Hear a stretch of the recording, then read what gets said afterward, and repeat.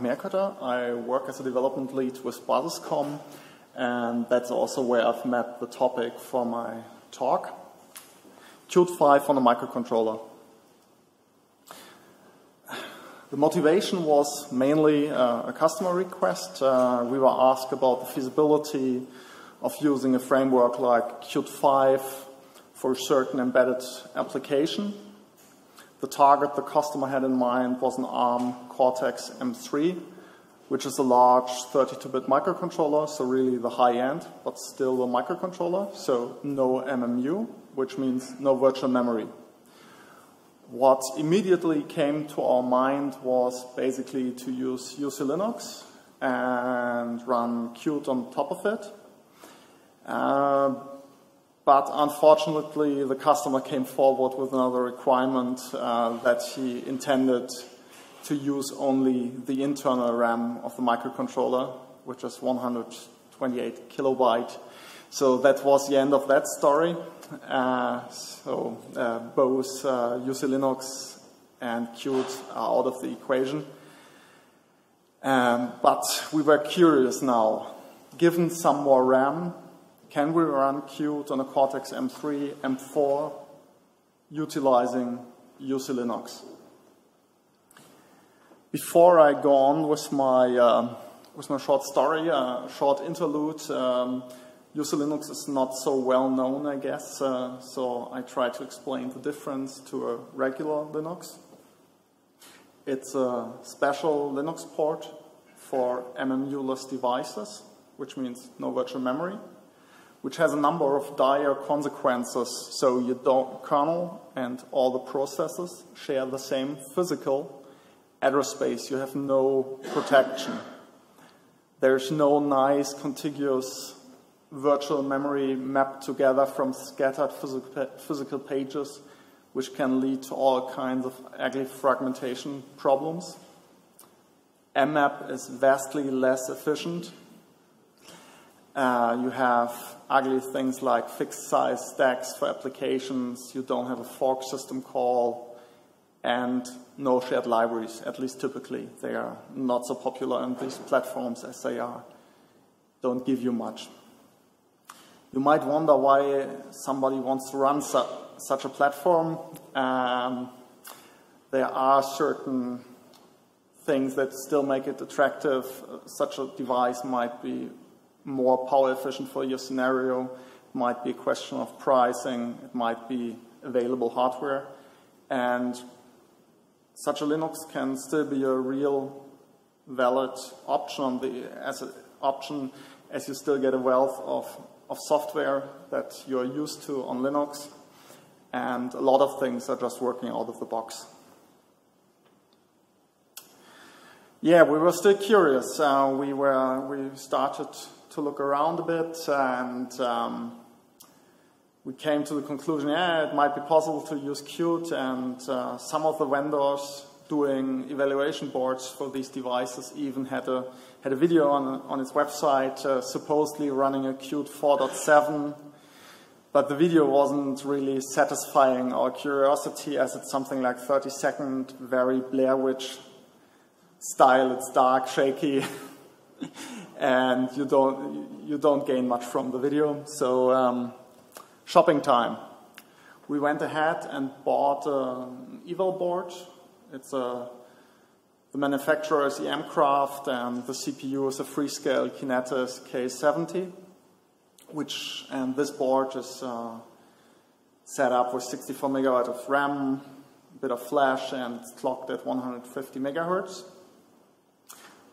Uh, you get you get a BSP and a toolchain from that vendor, and nicely enough, they um, they included the demo from the video, so we could check it out right away. Really based on Qt, uh, Qt 4.7, and we were quite surprised. Performance was good. It's uh, of course not a high-end device, but it was actually usable. So so good so far. Uh, so far, so good. but uh, we can't just go and uh, buy some devices to run a demo. Uh, so we try to get our feet wet by, um, by doing some work ourselves on that device. Uh, we try to get Qt 5 running and then run some of our own demos and uh, code on top of it. And basically we were trying to find out how much of Qt 5 we can get working, Core, GUI, Qt Quick 1. Qt Quick 2, of course, is out of, the, out of question as there's no GPU on such a small device. And um, it wasn't a large effort. It basically took a week for one developer to, to get the, uh, the parts of Qt 5 we needed working. Um, the steps included we had to disable certain features, so have a, a custom Qt build with certain features disabled. There's no fork, so uh, feature no process is needed. You don't have uh, shared libraries, so feature no library, no plugins. This, uh, this of course meant a bit of work as these are not support, officially supported build configurations. So you have to sort out all kinds of small build failures uh, as these build configurations are typically never run. Another thing that caused us some grief was that it's a very old toolchain. It's a GCC 4.4.1, which is ancient. It's a bit too old for Qt, so we had to sort out all, yeah, some smaller bits there, but nothing serious. And um, yeah, no libraries means no plugins, so we had to statically compile in at least the basics, like a Linux FB and uh, an input module to get going, and that was it. With that, we could run our first QWidget-based demos. Um, we then moved very quickly to um, Qt Quick 1 when we figured out that um, the kernel of that device was set up in a way that you could only allocate 8 megabyte at a time, which is uh, uh, something you quickly get over when using uh, Qt Quick 1.